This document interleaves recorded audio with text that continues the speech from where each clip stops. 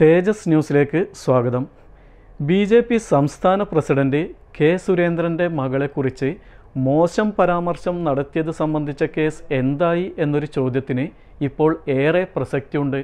കാരണം സ്ത്രീകൾക്കു നേരെയുള്ള പലവിധ അതിക്രമങ്ങളും വർദ്ധിച്ചു വരുന്ന ഇക്കാലത്ത് അതിജാഗ്രതയോടെ നമ്മൾ നീങ്ങിയില്ലെങ്കിൽ ഇത്തരം പല കേസുകളും മറവിയിലേക്ക് ആണ്ടുപോവാൻ ഇടയുണ്ട്. കഴിഞ്ഞ മാസം കേരളം ഏറെ ചർച്ച ചെയ്ത ഒന്നായിരുന്നു കെ സുരേന്ദ്രന്റെ മകൾക്കെതിരെ മോശം പരാമർശം നടന്ന സംഭവം. വിമർശനവും രോഷപ്രകടനവുമായി അന്ന് രംഗത്ത് വന്ന ബി ജെ പി നേതാക്കൾ പോലും പക്ഷേ ഇപ്പോൾ അങ്ങനെയൊരു സംഭവം തന്നെ നടന്നിട്ടില്ലെന്ന മട്ടിലാണ് നേതാക്കളെ പറഞ്ഞാൽ സഹിക്കും പക്ഷേ അവരുടെ കുടുംബാംഗങ്ങളെ പറഞ്ഞാൽ സഹിക്കില്ല എന്ന് പറഞ്ഞ് അമർഷം പൂണ്ട സന്ദീപ് വാര്യരെ പോലെയുള്ള സംഘ് പരിവാറിന്റെ മെഗാഫോണുകൾ പോലും ഇപ്പോൾ നിശബ്ദരാണ്. ബി ജെ പി സംസ്ഥാന അധ്യക്ഷന്റെ മകൾക്കെതിരിൽ മോശം പരാമർശം നടത്തിയതിന് അതെന്താ ഇപ്പോൾ ആർക്കും പരാതിയില്ലേ എന്നൊരു ചോദ്യം ഉയരുക സ്വാഭാവികമാണ്. അങ്ങനെ ഒരു പരാമർശം നടന്നു എന്ന് അറിഞ്ഞ ഉടൻ പലരും ആത്മാഭിമാനം മുറിഞ്ഞെന്ന് പറഞ്ഞ് രംഗത്ത് വന്നിരുന്നു. പക്ഷേ സംഘിക്കൂട്ടത്തിന്റെ ആ കലിതുള്ളൽ പ്രതിയുടെ പേര് അജ്നാസ് എന്നാണെന്ന് അറിഞ്ഞപ്പോഴായിരുന്നു. അന്ന് മുറിഞ്ഞു തൂങ്ങിയ ആത്മാഭിമാനം ഉയർത്തിപ്പിടിച്ച് അജ്നാസ് എന്ന യുവാവിന്റെ വീട്ടിലേക്ക് മാർച്ച് നടത്തിയ ബി ജെ പി നേതൃത്വവും പ്രവർത്തകരും എല്ലാം ഇപ്പോൾ പൂർണ മൗനത്തിലാണ്. എന്നാൽ അജ്നാസ് നിരപരാധിയാണെന്നും പ്രതിപട്ടികയിൽ വരാനുള്ളത് മറ്റൊരു സംഘ് പരിവാർ പ്രവർത്തകനാണെന്നും തിരിച്ചറിഞ്ഞതോടെയാണ് ഈ കൂട്ടമൗനം സംഭവിച്ചിരിക്കുന്നത്.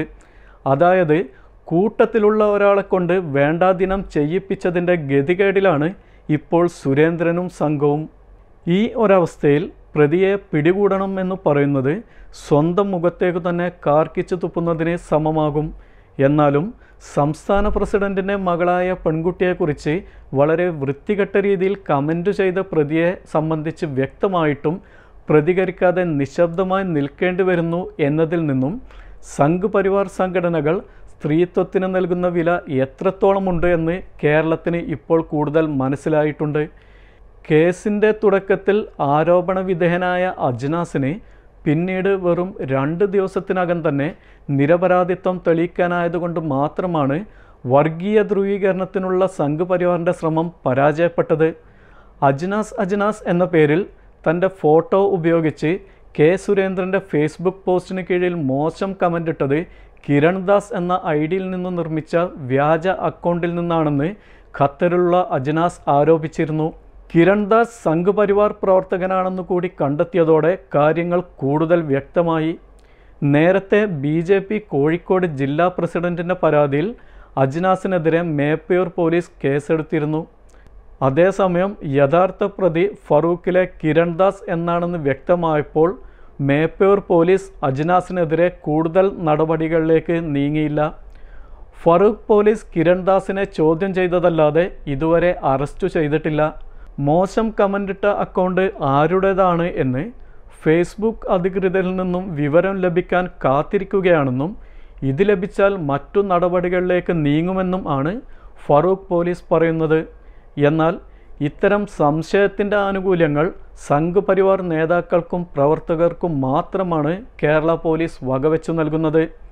ഫേസ്ബുക്കിലൂടെ ഹർത്താലിന് ആഹ്വാനം ചെയ്തതിന്റെ പേരിൽ സംസ്ഥാനത്തുടനീളം പലർക്കുമെതിരെ കേസെടുക്കുന്നതിനും ജയിലിൽ അടയ്ക്കുന്നതിനും മുൻപായി ഒരു പോലീസ് ഉദ്യോഗസ്ഥനും അവരുടെ അക്കൗണ്ട് സംബന്ധിച്ച സ്ഥിരീകരണം ഫേസ്ബുക്ക് അധികൃതരിൽ നിന്നും വാങ്ങിയില്ല. മതപണ്ഡിതന്മാർ ഉൾപ്പെടെയുള്ളവർക്കെതിരിൽ ഫേസ്ബുക്കിലെ പ്രസംഗത്തിന്റെ പേരിൽ കേസെടുത്തപ്പോഴും അത് അവരുടെ അക്കൗണ്ട് തന്നെയാണെന്ന് ഉറപ്പിക്കാൻ ഫേസ്ബുക്കിനെ സമീപിച്ചിട്ടില്ല. പ്രതി സംഘപരിവാർ പ്രവർത്തകനാകുമ്പോൾ കേരള പോലീസിന്റെ സമീപനത്തിനും കേസന്വേഷണത്തിനും കോടതിയിൽ സമർപ്പിക്കുന്ന റിമാൻഡ് റിപ്പോർട്ടിനും മാറ്റമുണ്ടാകും. കേസന്വേഷണം വേണ്ടത്ര നീട്ടിക്കൊണ്ടുപോകും. വളരെ നിസ്സാര വകുപ്പുകൾ മാത്രം ചുമത്തി പ്രതിയെ രക്ഷിക്കാനുള്ള ശ്രമങ്ങൾ നടക്കും. കേരള പോലീസിന്റെ നിയന്ത്രണം സംഘ് പരിവാറിന്റെ നിർദ്ദേശങ്ങൾക്ക് അനുസരിച്ചാകുമ്പോൾ നേരത്തെ കത്തി നിന്നിരുന്ന ചില കേസുകൾ പൊടുന്നനെ ഇല്ലാതെയാകും. നാടുകടത്താൻ ഇടയാകുമായിരുന്ന കേസുകൾ വരെ കുഴിച്ചു മൂടപ്പെടും.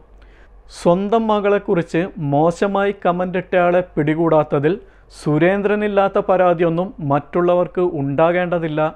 പക്ഷേ വിദേശത്ത് ജോലി ചെയ്യുന്ന ഒരു യുവാവിന്റെ പേരിൽ വ്യാജ അക്കൗണ്ട് നിർമ്മിക്കുകയും അതുപയോഗിച്ച് നാട്ടിൽ വർഗീയ ധ്രുവീകരണത്തിനും കലാപം നടത്താനും ശ്രമം നടത്തുകയും ചെയ്തവർ ആരാണ് എന്ന് കേരളത്തിലെ മതേതര സമൂഹത്തിന് അറിയേണ്ടതുണ്ട്. അങ്ങനെ ചെയ്തവർക്കെതിരെ കേരള പോലീസ് എന്തു നടപടിയാണ് എടുത്തതെന്നും അറിയാനുള്ള അവകാശം പൊതുസമൂഹത്തിനുണ്ട്. News desk Tejas news.